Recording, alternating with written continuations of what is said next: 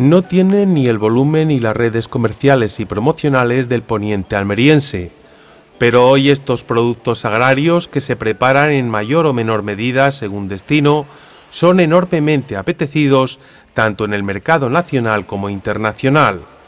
Su predicamento tiene mucho que ver con la calidad que el microclima de la zona que visitamos y el terreno sustentador confiere a las planteras, y que ha convertido a la sociedad cooperativa frusana, el mayor exportador nacional de flor cortada al día de hoy, en productor de enorme reconocimiento. Como evidencia esta puja a la baja a la que asistimos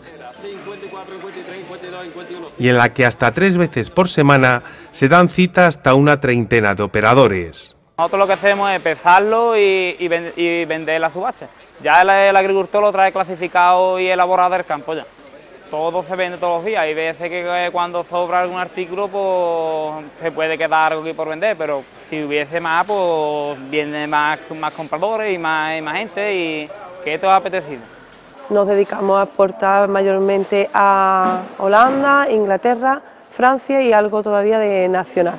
Hay gente que están comiendo con dos hectáreas de terreno, prácticamente eso es inusual fuera de aquí. Y aquí, gracias a la cooperativa, lo que intentamos es eso, que el pequeño agricultor tenga todos los medios necesarios para que pueda comer de la agricultura, metiendo tecnología nueva, buscando soluciones para ese agricultor que por sí solo no se puede abastecer. Nuestra gran problemática que tenemos es que, por supuesto, que tenemos que competir en el mercado con un producto de primor, de muchísima calidad, pero que cuando va a los mercados tenemos que ir complementando otros mercados de otras zonas. Holanda, por ejemplo, tiene un precio de 44 céntimos ahora mismo en mano zanahoria. Eso es totalmente inviable para nosotros.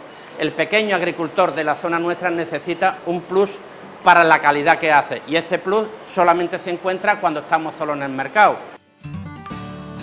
El secreto de Frusana hay que buscarlo en este tipo de arenas y las temperaturas un tanto invariables que propicia la cercanía al mar de estas pequeñas explotaciones familiares, lo que confiere a las producciones una precocidad, aspecto, sabor, textura y nivel de salubridad que han hecho ganar desde hace tres años el respaldo de una denominación de origen.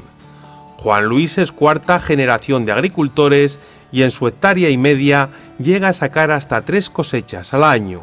De zanahoria tengo puesta ahora mismo son 4.000 metros que está cogiendo aquí y otros cuatro que tengo ahí un poquito más adelante, que está para cuando pase mes o mes y medio por ahí. La flor cortada, aunque ha experimentado caída de hasta el 70% con respecto a las 1.500 hectáreas que llegaron a cultivarse en el Triángulo Sanlúcar, Chipiona y Rota, aún cuenta con un centenar de productores dedicados a clavel y clavelina, con un volumen anual que ronda los 43 millones de tallos comercializados.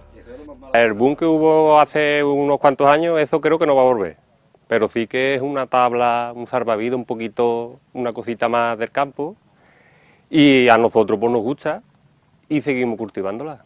Lo malo que tiene la flor cortada, que hay que echarle muchas horas muchas horas, hay que estar todo el día liado con ella.